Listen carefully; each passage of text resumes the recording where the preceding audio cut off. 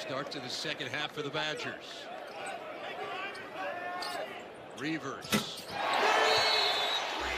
And Fred Hoiberg needs a timeout.